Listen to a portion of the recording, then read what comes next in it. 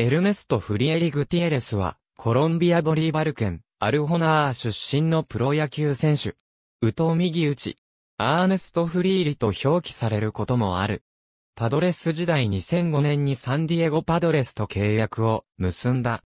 2009年9月26日のアリゾナダイヤモンドバックス戦でメジャーデビュー。史上9人目のコロンビア人メジャーリーガーとなった。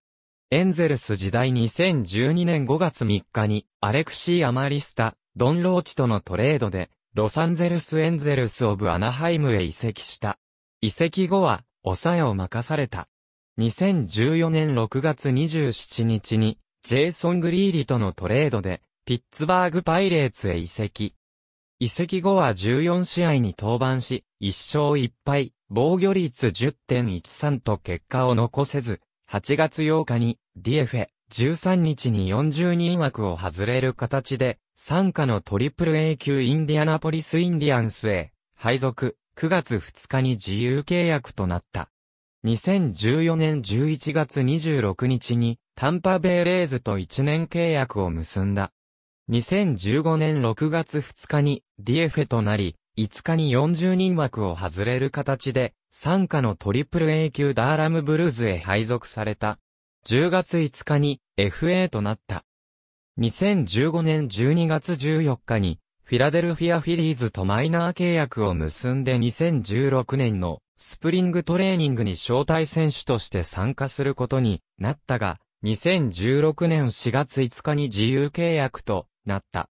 この年は、どの球団にも所属しなかった。2017年は、第4回 WBC コロンビア代表に選出された。C 組、マイアミラウンドで敗退後の3月16日にニューヨークヤンキースとマイナー契約を結んだ。